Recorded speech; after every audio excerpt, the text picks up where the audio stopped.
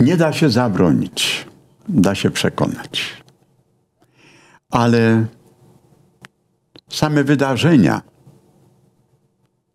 sprawiały, że ludzie widzieli, że to nie jest pierwszy lepszy artykuł do spożycia. I to jest taki artykuł, który potrafi człowieka uzależnić, odbiera mu godność, odbiera rodzinę, odbiera zdrowie, odbiera wszystko.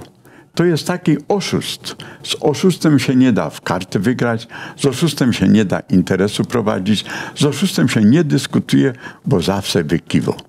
Więc trzeba się strzec.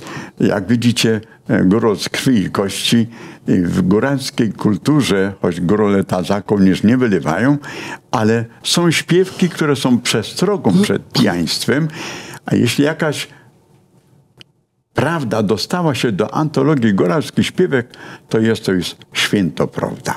Z nią się nie dyskutuje, bo tak jest naprawdę. Nie pij gorzołecki, bo cię z pola zniesie. Lepiej ze się napij zimnej wody w lesie.